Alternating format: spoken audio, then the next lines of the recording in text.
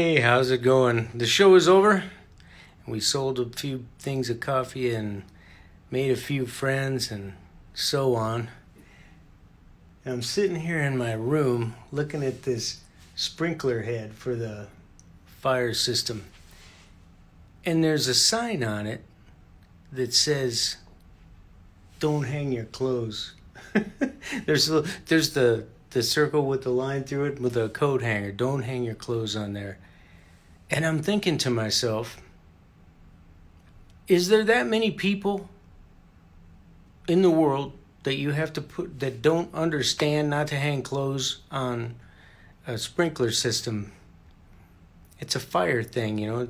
There's that many people that need that sign. It reminds me of I think it's Missouri. Everybody in Missouri can hate me, but they have a it's it's whatever state it is they have signs all over the highway that say, you know, if it's raining, turn your headlights on. And I remember thinking the same thing. Don't they teach that in driver's ed? Reduced visibility, turn your headlights on.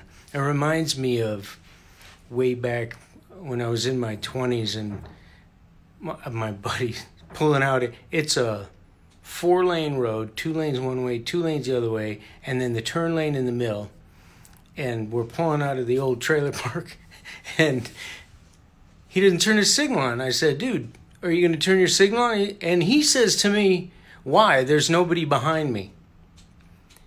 And I'm thinking, uh, screw the people behind you. What about the ones doing 50 miles an hour on the road you're about to pull out in front of?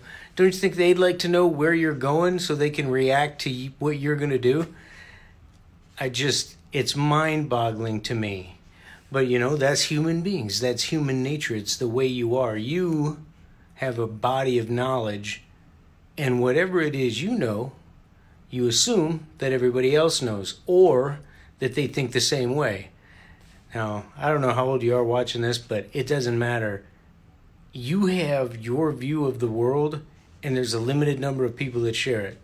You're just going to have to take my word on this. If you haven't experienced it yet, you will when it comes to marketing online, there are a given number of opinions out there, and some of them are false. Some of them you can prove are false real easy, and yet they persist year after year. It's like an urban myth.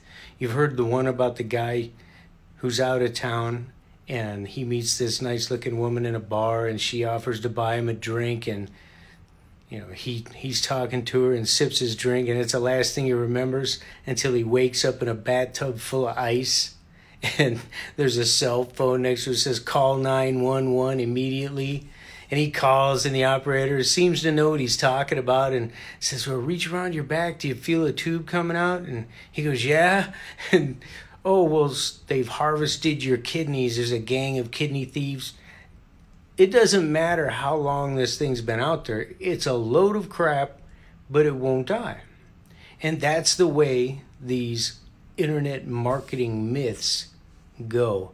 Uh, one of the best ones is such and such is dead, email is dead, no, Facebook is dead, no,